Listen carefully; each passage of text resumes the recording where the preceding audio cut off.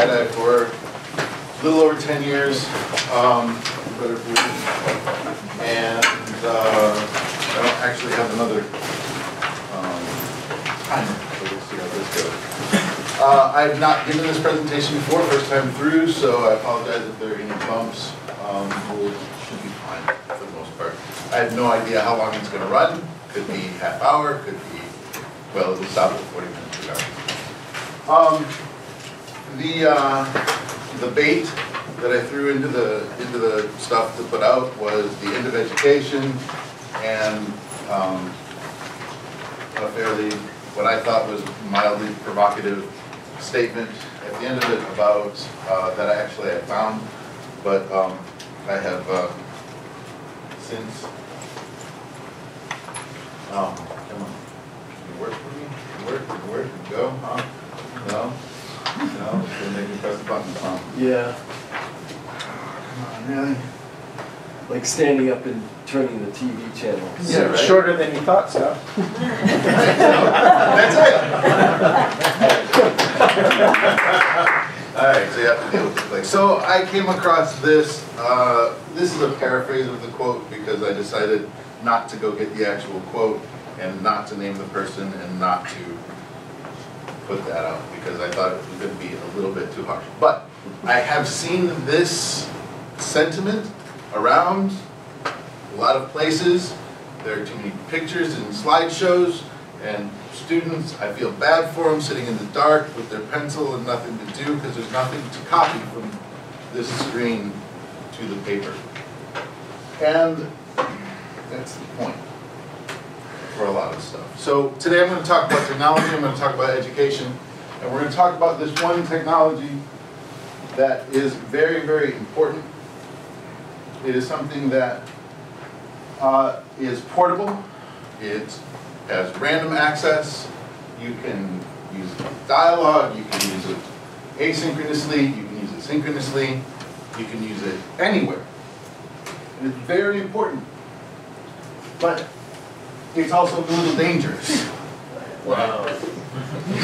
You're so cool. It's a new version. I had to try out all the, I had to try out all this stuff. But it's a little dangerous. So that all of these things, because because of all these things, we lose a little bit of control. Control over what the information that the students get is, control of the distribution of that inf- uh, information.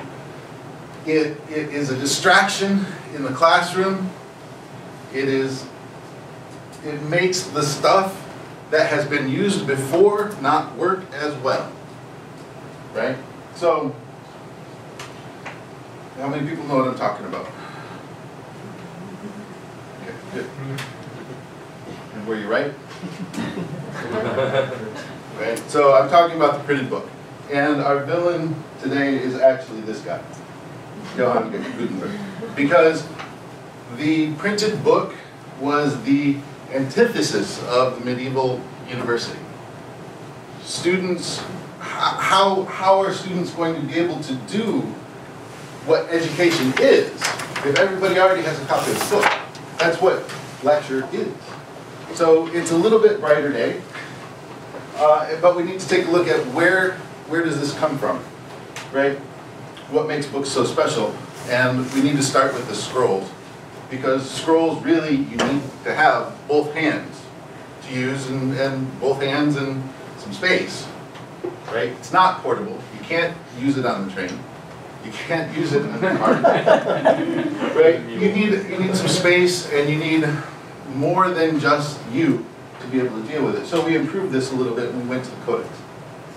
And the Codex is fantastic. It's portable. You can take it with you, tuck it under your arm, and take it with you to any library that you want to go to, although there probably weren't very many libraries at the time. You can make your own notes in it. And the great thing is, you had to make it yourself. And this is where we came up with the original idea of lecture. Because we had codexes, we didn't have books. It's a little different. In a codex, it's a copy, it's a copy of a book. So if someone is saying, all right, please turn to page 50. We all know now that if you turn to page 50, your page 50 and your page 50, as long as you have the same edition, is going to be the same page 50. But during the time of the Codex, maybe page 50 was the same, maybe you had more than one page 50, maybe you didn't have page 50. Maybe the scribe skipped page 50, right? Or, or it had an entire, it was page 50 from a different book, right? These are all possibilities. And so lecture was, the teacher would stand in front, the professor would stand in front, read the book, and you would make your own copy. That was a really critical way to get information from one place to another. And these were really valuable. It was a really highly important aspect of that time in education. And if you wanted a book, you had to go to where the book was. You couldn't just go down to the library and pick up a new one. If you wanted a particular book by a particular author, you probably had to travel. Because that book was probably owned by a lord in a different area. And if you were lucky, it would be there when you got there. And if you were really lucky, the lord or whoever owned the actual book would let you go see it. And so we got this.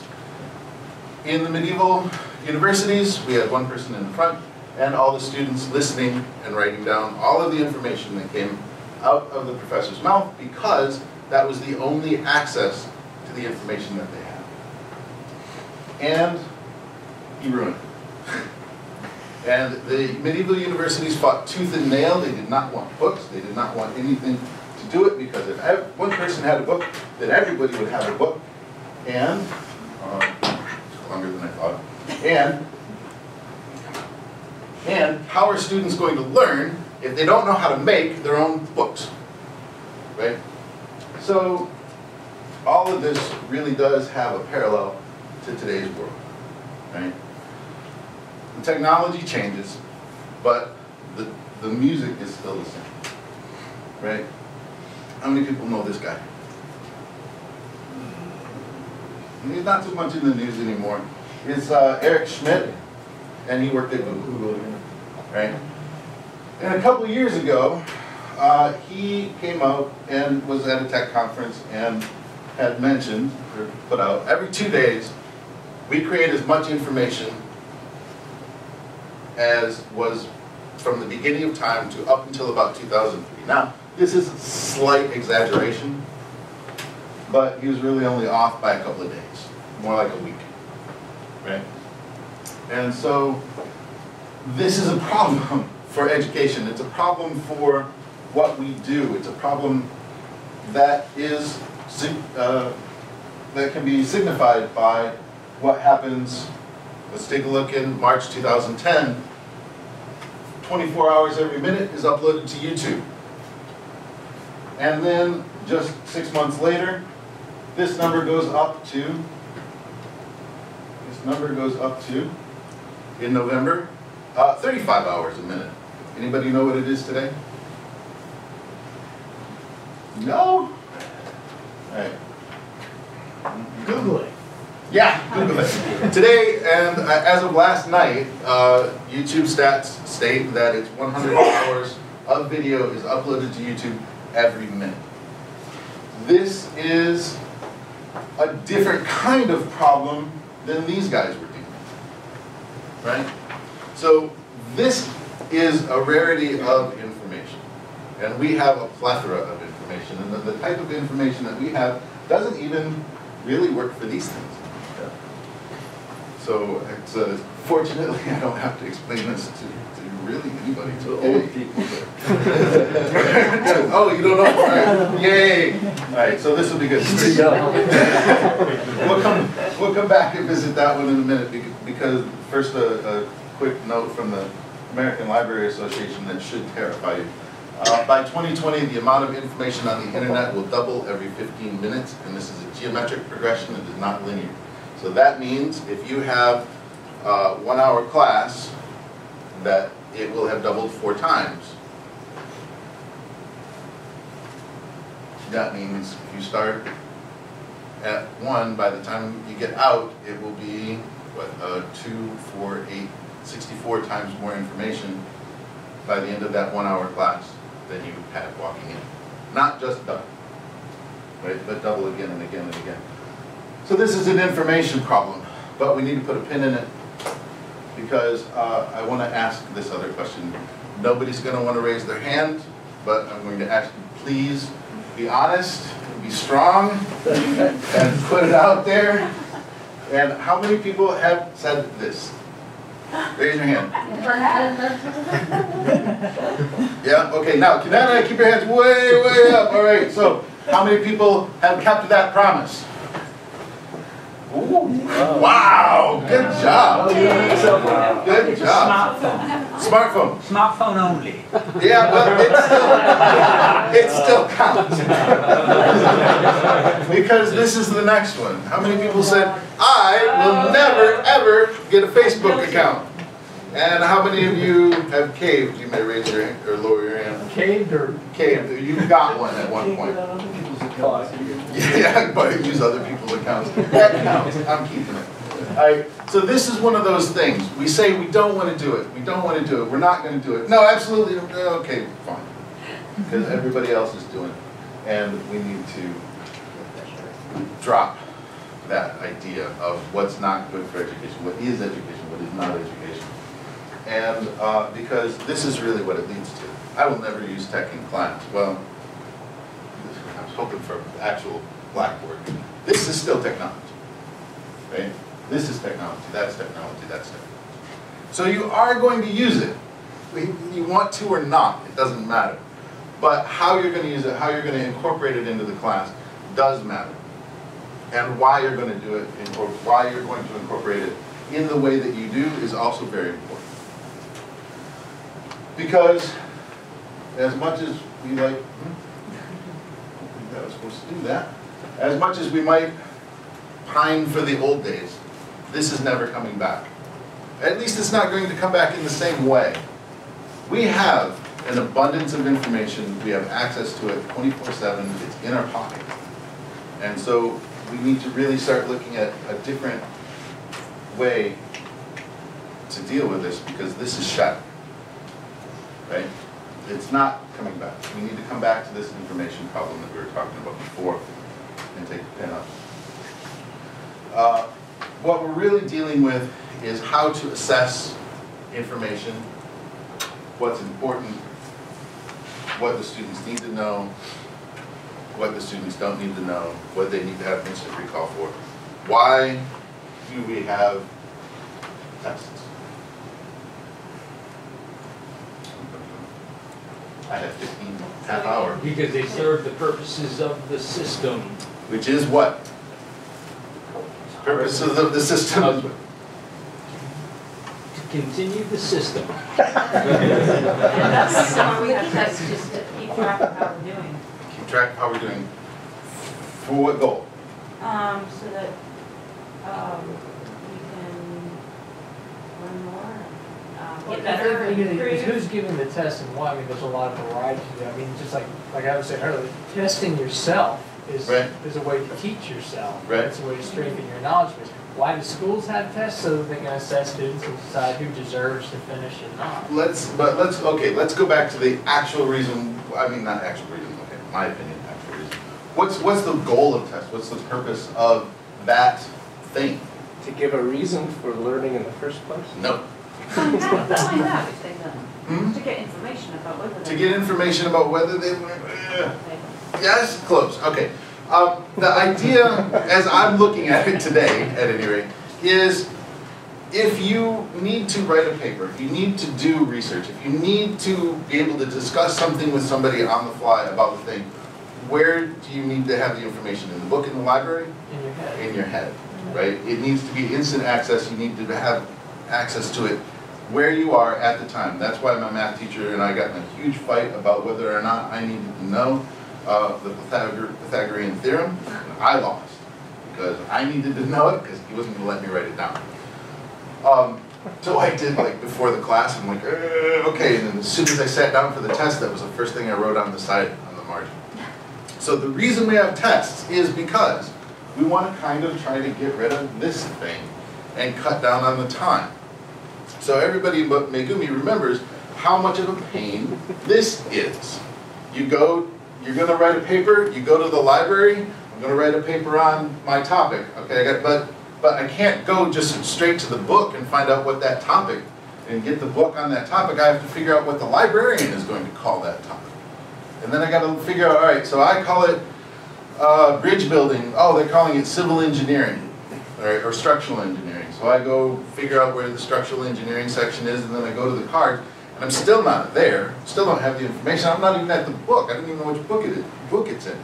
I go here, I look up where the book is, and then get three or four different possibilities for where that book is, and then I get to go for a walk. Where, around the rest of the library, figure out, oh, here's the book, here's the book, here's the book, pull those down off the shelf, go down to a table, and open the book and start reading through, oh, that's not what I want. Oh, this book isn't what I want either. And this last one that I got also is not what I want. So I, all of that time, trying to figure out where it is in the card catalog, where that is in the library. Once you find the book, then uh, you go through and try to find it, and it's probably not there, maybe. But all of that is gone. But the point of memorization for tests was to cut down on this process, because the more of it you had in your head, the less time you had to spend here, right?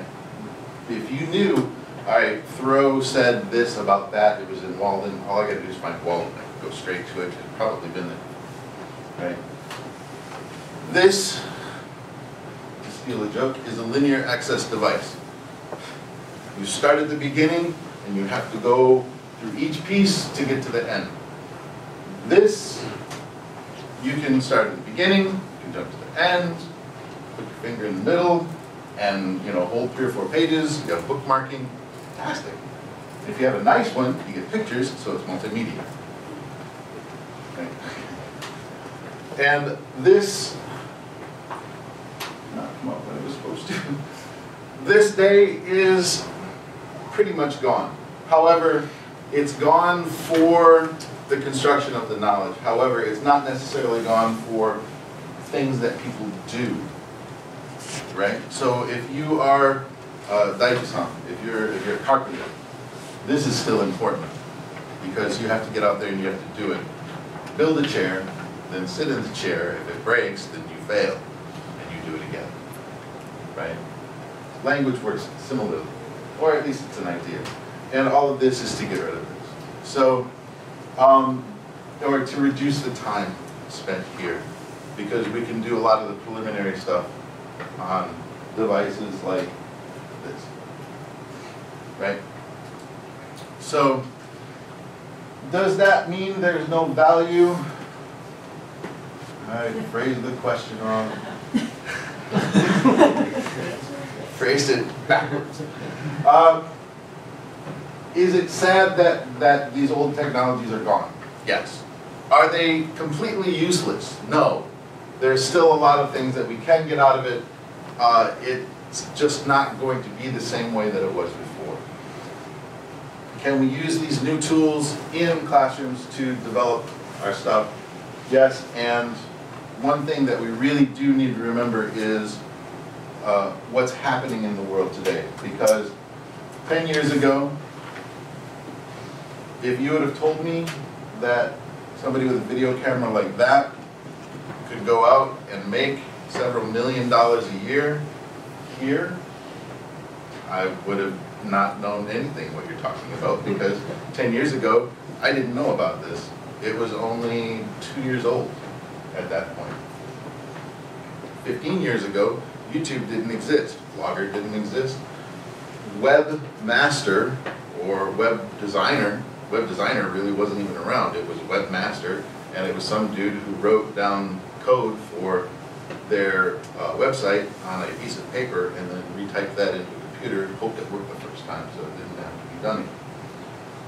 Uh, 10 years ago, those jobs didn't exist. Some of the system engineers, app developers didn't exist because that job didn't exist, right? There are applications, it's a different ballgame.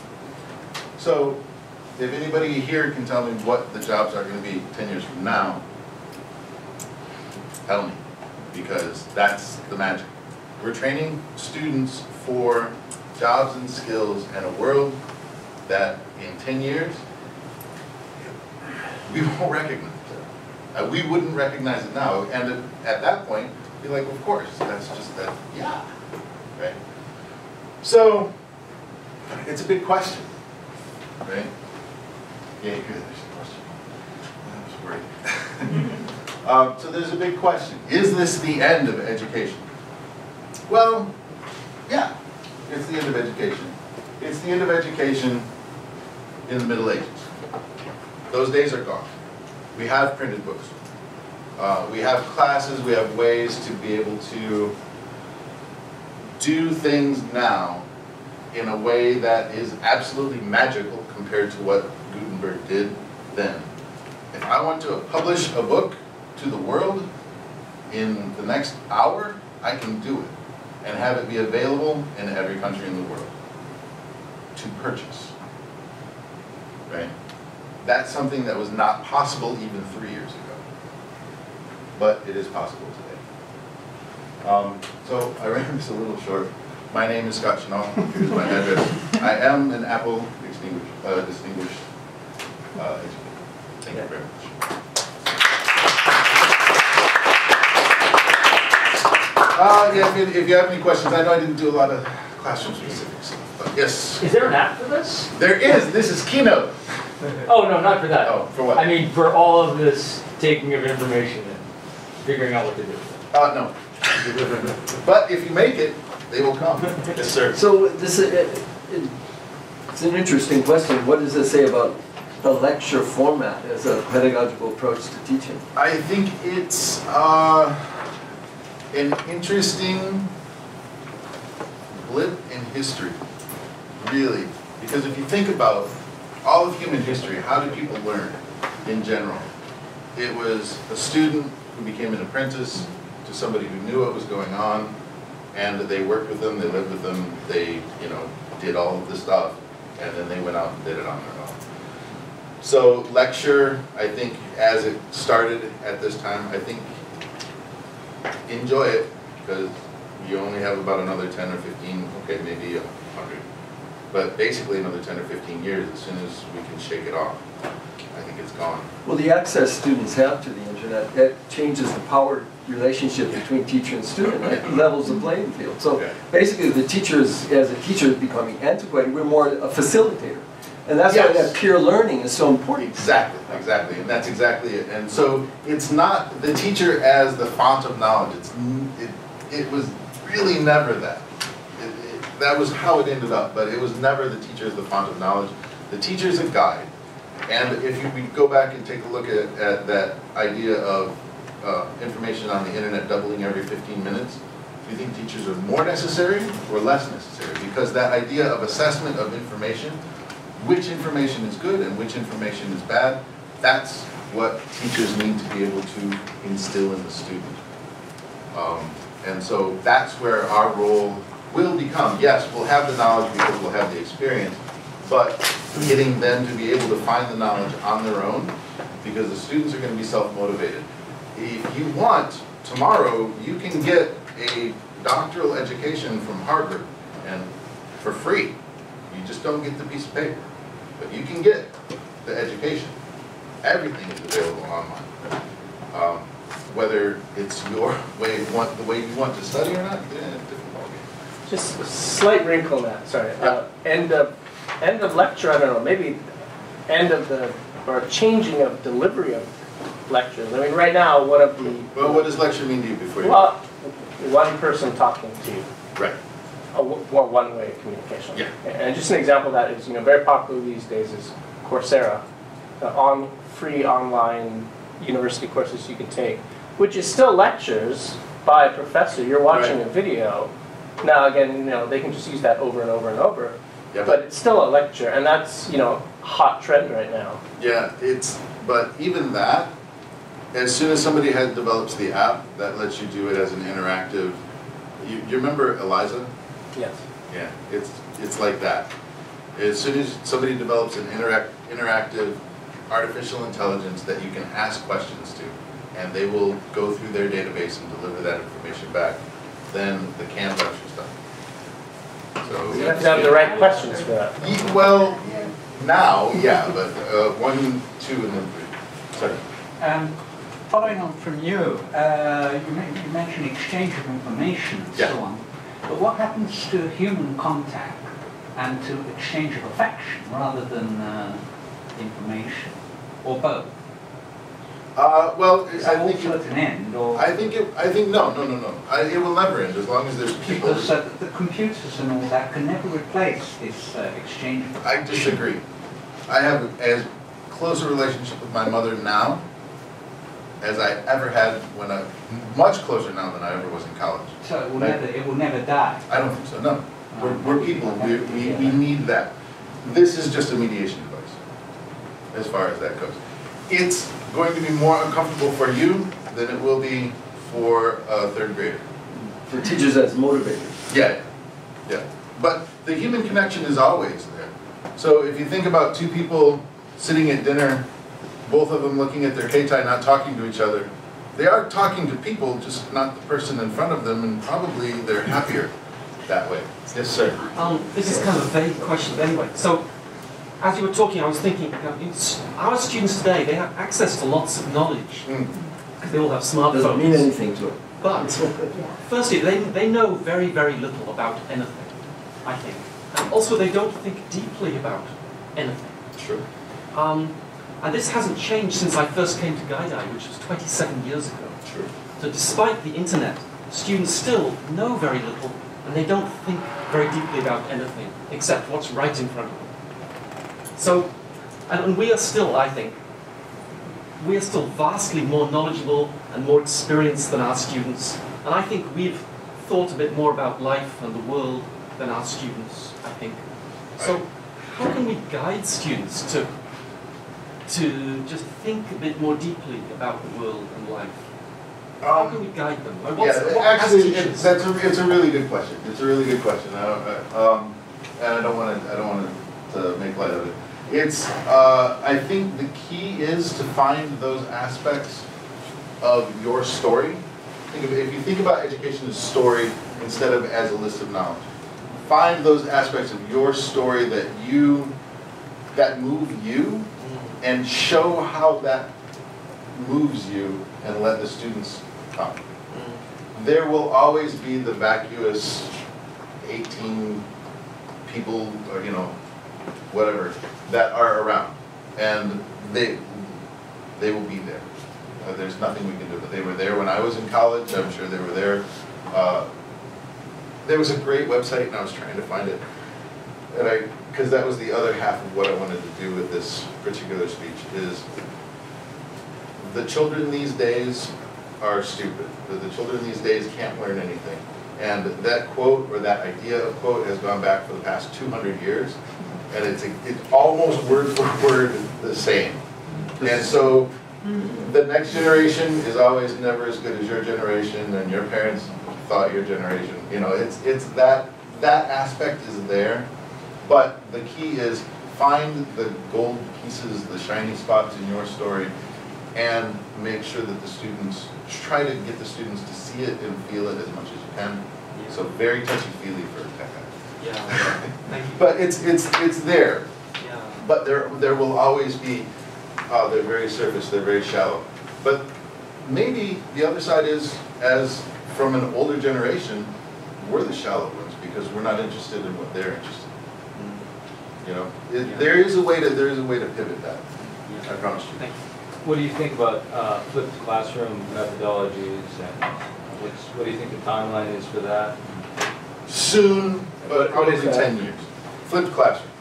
It's like Khan Academy, where you, you take the lecture and Yeah, I put hate it that. outside of class, so Markers students are doing, the students are doing the lecture Ah, outside of class, and and they're doing the homework and the activities in class, teachers. All right.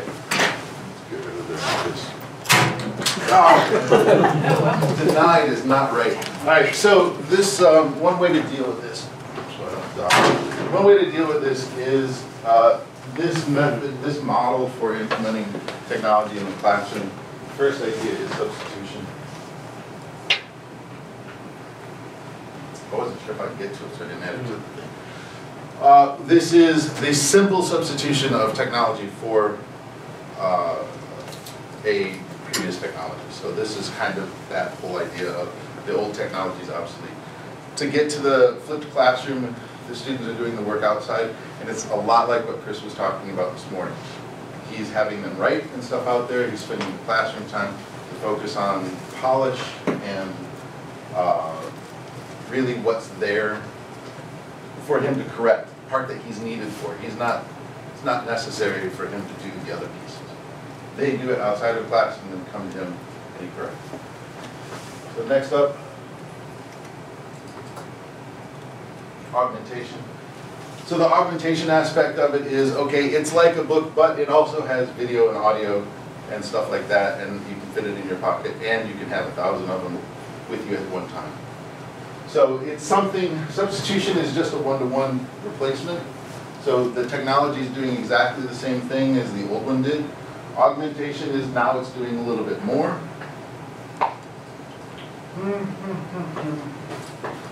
What does the M mean? I'll Google it. Huh? I'll Google it. Yeah, if you would, that'd be awesome. Do the R Yeah. while he's Googling it. Mediation. Hmm? Mediation. Something. Modification. Modification. And I didn't Google it, but. That wasn't in your That head. was, You know. that was recall. Took a long time, uh, card catalog.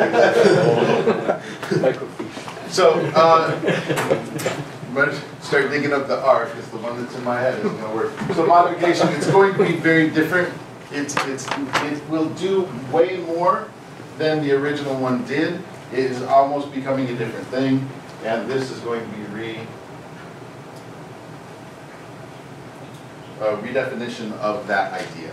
It's going to be something entirely new that was not even possible when the technology was merely a substitution. And so as a step for uh, bringing technology into the classroom, just straight substitution is okay. If your students don't have to carry a, you know, uh, three kilograms worth of paper with them, then that's a good thing. Bad news is students hate Kindles. Um, the, the, there's a Princeton study on uh, using Kindle as a textbook, and the problem was kind of one of something that this doesn't really do very well. Can't write the margins, right? And so that's one of the things that people got really stressed out about. So the idea of a digital book and a digitized book are not the same, right? So a digitized book is just getting the words into the machine. A digital book has some sort of interaction. And that interaction will depend on where they are, uh, who they're interacting with. Maybe they can ship something to the teacher and the teacher can put something back. You can have an instant communication through that at the time. So is that in the making to be able to write, to annotate in the margins? Well, you can do that in a digital book? PDF. You can do that? Yeah, I mean, there, how easy though is that, or is it right now, it's, it's, kind of, I it's think, yeah, early days. yeah, It's rocks and sticks. but I'm sure with time. Uh, give it five years Because and that was the technique that my students liked the most. give it five years Last and class. the camera that's already there will be able to, uh, the camera that's already there, you can put video annotations in. so. You know, it's interesting, this brings up the question of cell phone, cell phone use in the classroom, and I banned it before, but now I have them doing a lot of collaboration in class where they have information gathering, and they need their cell phone. Yeah. And so like now, it's like, what do you do? I have gone, Use it. I Yeah, have yeah, gone- exactly, I mean, go with, Don't but run yeah, I but have yeah. gone the absolute other direction. I say, the only, the only rule I have is don't take phone calls. Yeah. If you t- get a phone call, stand up and leave. You don't have to ask permission, you're an adult, get out. Mm-hmm. Stand up, go out in the hallway, take your call, and then come back. But the access to Google and the access to uh, all of that is so valuable. So, you know, there was a, another presentation that I saw, uh, and the presenter had asked, all right, so please tell me who, uh, Mitra Sugata, is that right? And who, who he is, so he had actually said the name right, put it up on the board. So people just pulled out their phones and started looking him up. So this, this was the hole in the wall guy who did the self-access spot in mm-hmm. India and then repeated it in England ah. to great success. And it's there, it's, I mean, and the students will do it, I'm like, I don't give them, if they ask me for an information question, I don't give them the answer, I tell them to look it up. If they're asking me for a process question, then I will help. But for basic information, you don't waste my time. That's what Google is for. Google is your friend. Like, go figure it out. All right, we good? Excellent. All right.